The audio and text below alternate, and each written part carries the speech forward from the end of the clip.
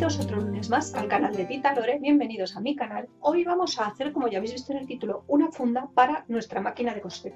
Para que mientras la tenemos eh, sin utilizar, yo sé que mucha gente pues la guardáis en un estante, la guardáis en algún sitio donde tengáis un poquito de espacio, pero para que no coja polvo, porque el polvo no es lo mejor para el motor de la máquina, para que no coja polvo mientras está sin utilizarse, vamos a hacer una funda para la máquina de coser. Vamos a hacer una funda sencilla, pero le vamos a poner algún adorno gracioso, restos de cintas que tenemos por ahí, alguna cosa le vamos a poner. Necesitamos tres medidas. La primera medida que yo necesito es el ancho de la máquina, es decir, este, este ancho de profundidad, digamos, de la máquina Tened en cuenta que yo aquí tengo parte del pie, o sea, hay que coger el ancho total, es decir, desde aquí hasta ese pie. Vamos a decir que son unos 18 centímetros de ancho, 18, 19. La segunda medida que yo tengo que tomar es esta medida de aquí, todo el contorno de la máquina, teniendo en cuenta que yo aquí tengo un resalte. Por lo tanto, voy a coger mi metro, me voy a ir aquí abajo lo voy a hacer pasar por este resalte que es la parte más alta de la máquina y me voy aquí y son 70 centímetros.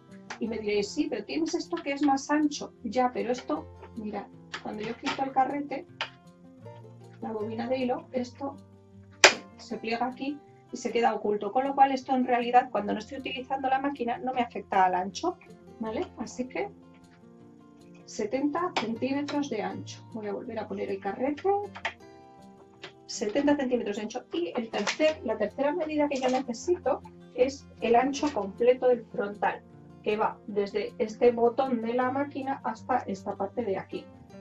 Y es desde aquí hasta aquí, vamos a decir que son 44 centímetros, para no quedarnos cortos, 43 centímetros. Entonces tengo 18 por 70 por 43. Y con estas medidas me voy a la mesa de trabajo. Tengo aquí este retal que mide 45, 45 centímetros de ancho, 47 centímetros de ancho por 72, 73 centímetros. Problema, no sé si se aprecia bien, que aquí justo en el medio del retal, porque es que es en el medio del retal, si yo lo doblo por la mitad, traga, está aquí en medio tengo una marca de haber estado al sol. Por uno de los lados es menos obvia, pero eh, sigue estando igual. O sea, la marca de haber estado al sol, de que le ha dado el sol y se ha marcado el pliegue, está aquí.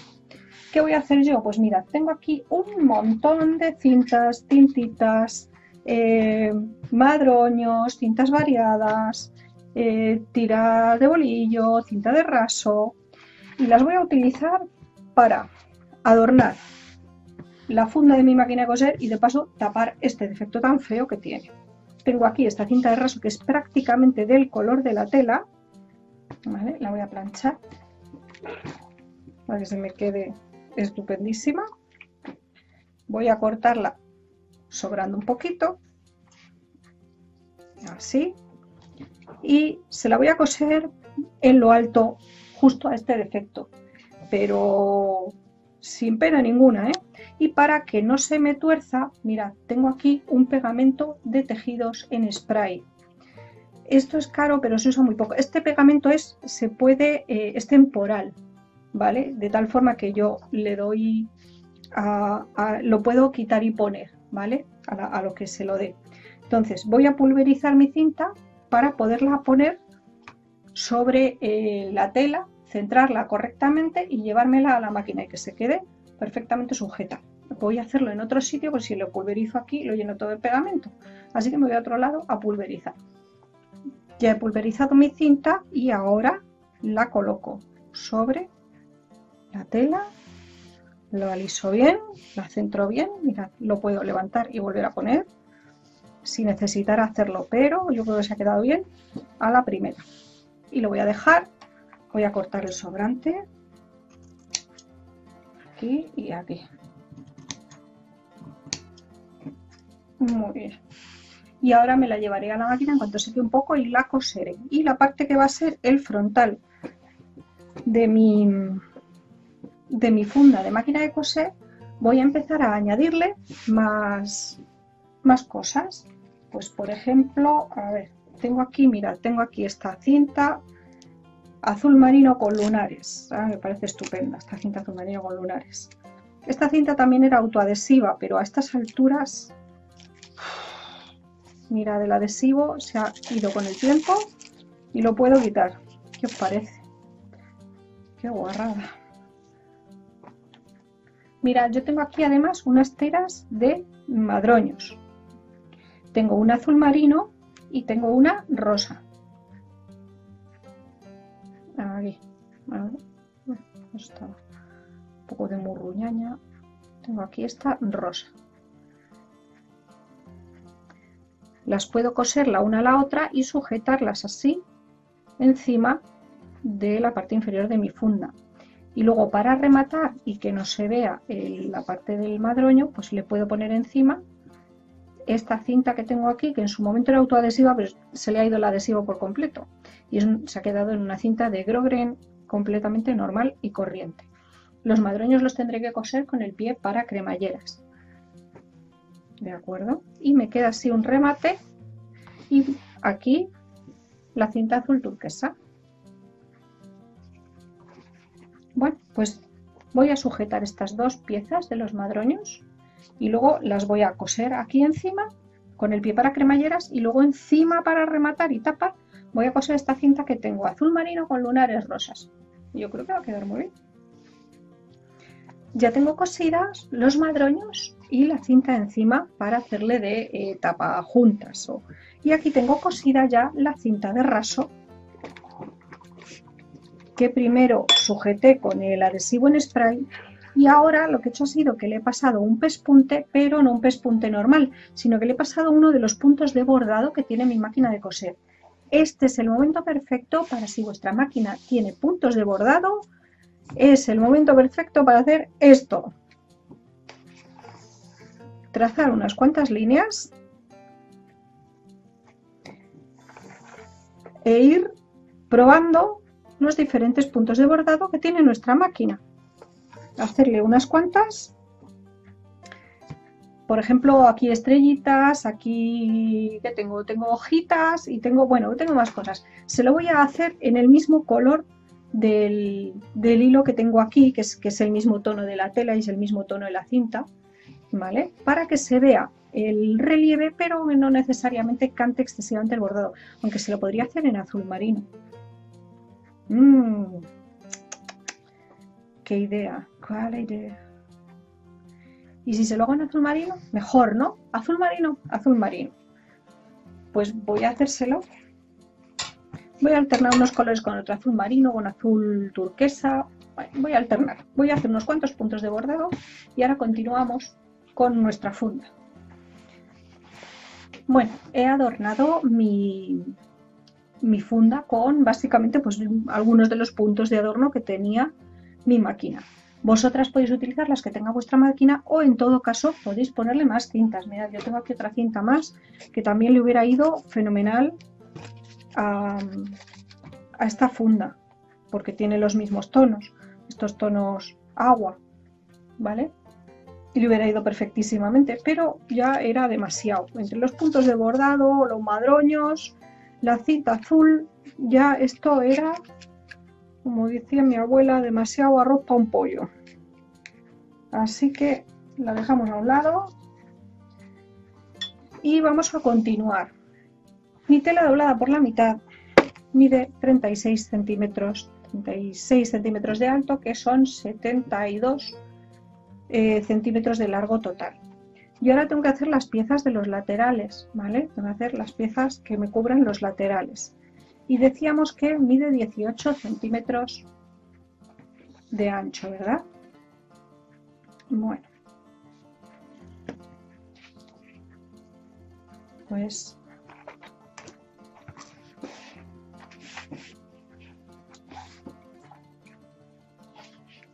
18, pues le voy a dar 22 centímetros, voy a cortar dos piezas de 22 centímetros, bueno, de momento voy a cortar una, 22 centímetros,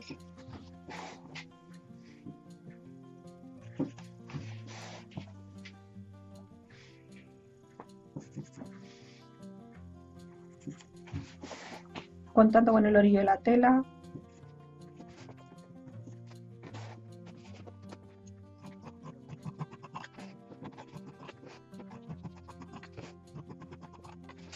Voy a cortar en principio una pieza que tenga 70 centímetros de largo, me va a sobrar, ¿vale? Me va a sobrar 70.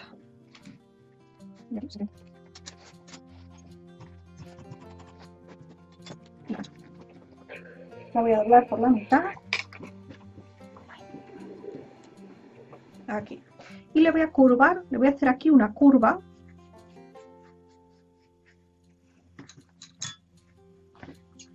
aquí así curva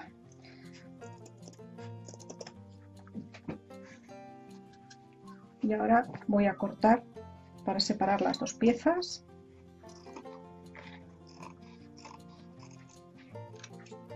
muy bien y voy a marcar bien el centro que bueno lo he marcado al plancharlo aquí marco en el centro y ahora voy a coger mi tela,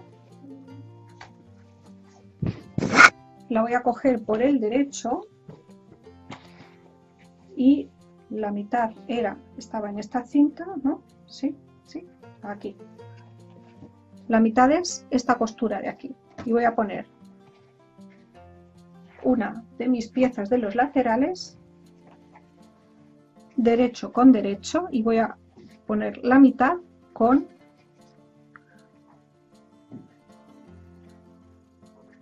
la mitad de mi pieza del cuerpo exterior. La voy a ir sujetando con alfileres, voy a coger alguno más pequeño porque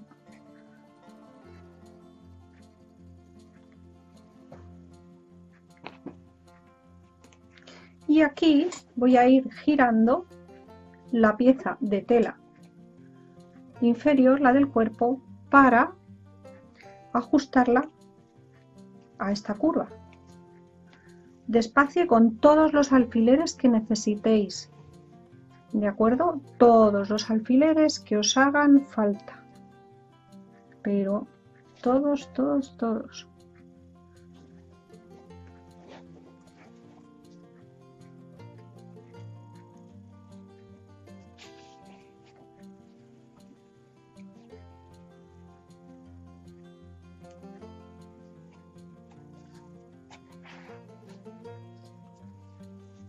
Y veis que me sobra, ¿vale? Me sobra, esta pieza inferior me sobra. Pero no os preocupéis porque luego lo vamos a rematar.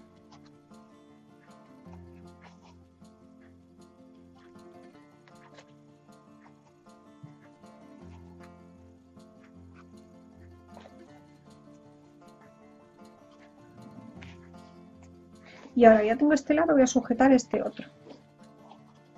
Empiezo sujetando esta parte que es horizontal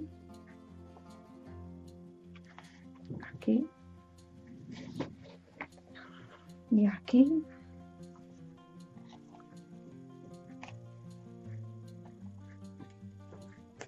ahora empieza a girar esto para ir adaptándolo a esta curva de aquí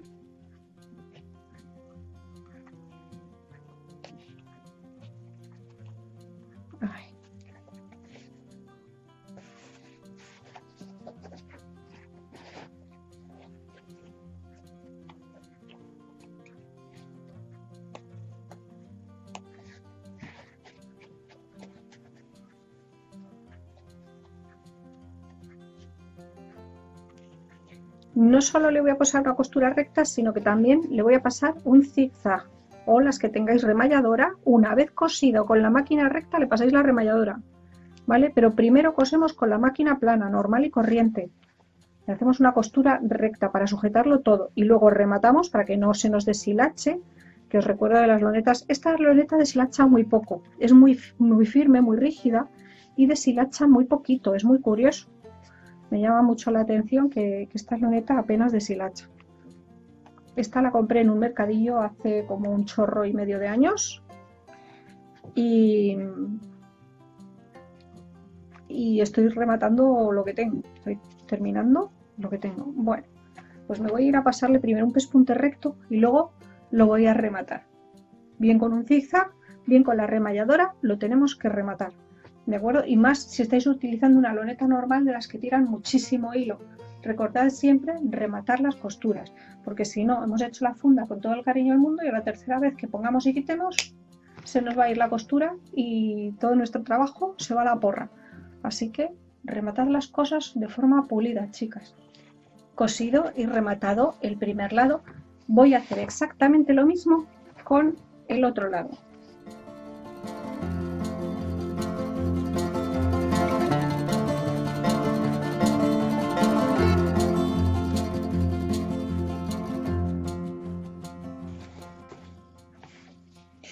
Ya tengo cosidos los dos laterales. Vamos a darle la vuelta.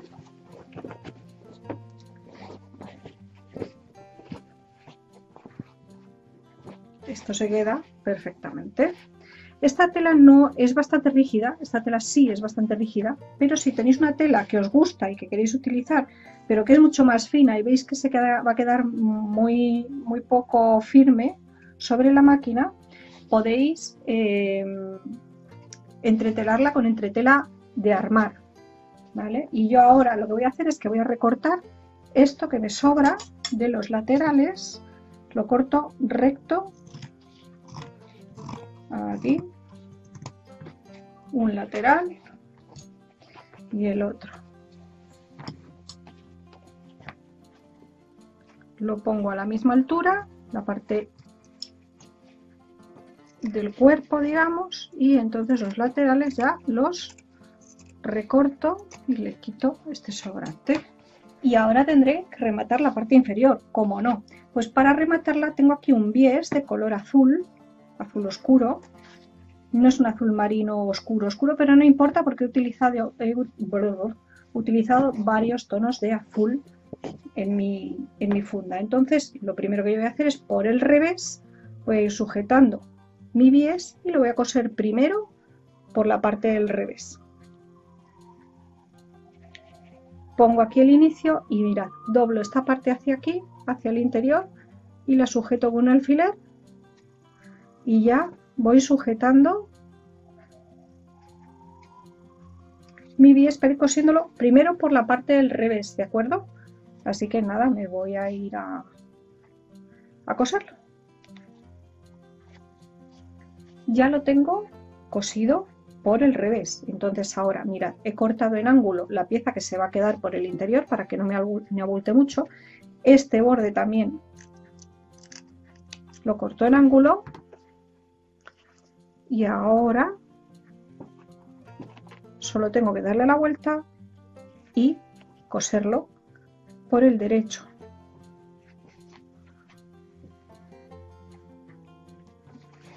Lo sujeto un poco con alfileres, recordad que tenéis que poner todos los alfileres que vosotras necesitéis. No porque me veáis a mí que pongo pocos alfileres o que a veces no pongo ninguno y decir, no, pues yo también, a la valiente. Si es la primera vez que hacéis una labor como esta, no lo hagáis las valientes, poned todos los alfileres que necesitéis, como si necesitáis pasarle antes un, un. Problema, ninguno. Lo único que pasarle un hilván es más trabajo pero problema ninguno. Lo que pasa es que yo estoy acostumbrada a hacer las cosas muy, como dicen aquí en Andalucía, muy de bulla y ahorrando pasos. Pero eso no quiere decir que vosotras también lo tengáis que hacer así. Con el tiempo lo acabaréis haciendo así, seguramente. Pero ahora mismo las cosas pasito a pasito, despacito, me acabo de pinchar, va a salir perfecta. Ay, madre mía. Terminada nuestra funda, la máquina queda protegida del polvo cuando no la estemos usando, pero además si utilizamos telas y adornos a juego con nuestra decoración, será un elemento decorativo más y no será simplemente una funda de tela vulgar puesta de cualquier manera en lo alto de nuestra máquina, sino que será un elemento más en la decoración de la habitación. Yo he utilizado una tela en tonos a juego con los toques de color que tengo en mi habitación de estudio. Vosotras podéis utilizar aquellos eh, colores y aquellas cintas y adornos que veáis que mejor combinan con la decoración de la habitación donde habitualmente guardáis la máquina. Y esto ha sido todo por hoy. Si os ha gustado, ya sabéis, clicad en me gusta, suscribíos a mi canal y compartid este vídeo por todas las redes sociales. Slits